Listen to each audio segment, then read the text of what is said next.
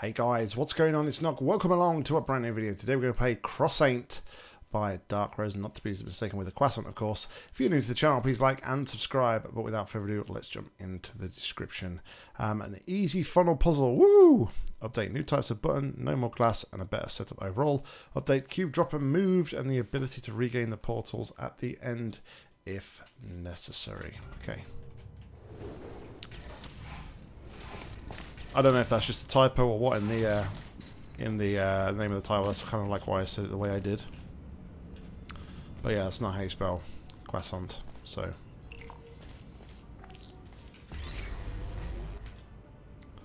Square stairs. Yep. Square is for stairs. It seems. So.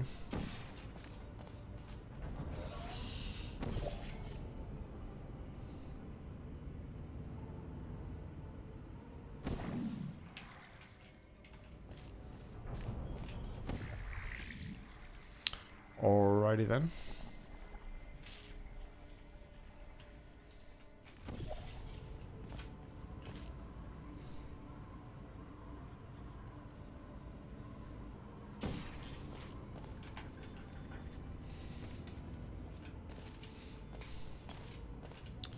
Then we need to reverse the funnel.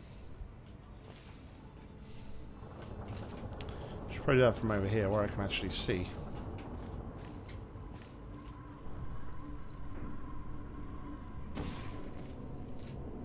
No! Okay. Panic over. No need to panic just yet.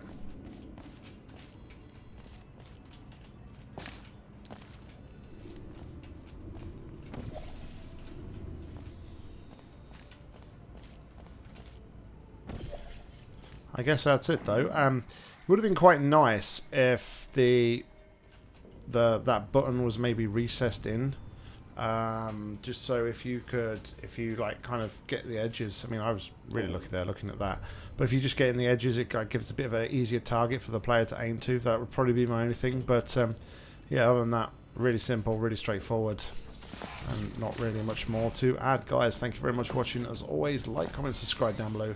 If you've got any match to play please leave in the comments or head to my google form. I'll link to those in the description. But until next time i've been Nock. You've been awesome. See ya